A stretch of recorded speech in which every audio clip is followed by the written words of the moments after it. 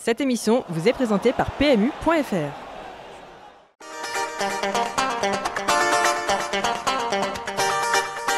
Bonjour à tous, on commence cette édition par les Oscars du foot espagnol décernés hier soir à Madrid. Si Léo Messi, absent de la cérémonie, a été élu meilleur attaquant mais surtout meilleur joueur de Liga pour la cinquième fois consécutive, CR7 a lui reçu le prix de MVP, une distinction créée cette année par la LFP récompensant le joueur le plus précieux de la saison, peut-être pour ne pas faire de jaloux entre l'Argentin et le Portugais. On reste en Espagne où le Barça prépare une opération défense, à en croire le quotidien sport. En quête de renfort défensif, le Barça aurait des vues sur la fusée colombienne de la Fiorentina, Juan Guillermo Cuadrado, capable d'évoluer sur tout le flanc droit. Le Brésilien David Luiz serait lui toujours espéré pour renforcer la défense centrale barcelonaise, une arrivée dès janvier même évoquée par le quotidien catalan. On file désormais en Angleterre où le Daily Mail assure que Manchester City a réussi à mettre la main sur la pépite de Malaga, Abdelkader Diaz. Âgé de 14 ans, le jeune homme était courtisé par le Barça et aurait coûté 362 000 euros aux Citizens, un montant qui pourrait même grimper jusqu'à 3 millions d'euros en fonction de l'évolution du garçon.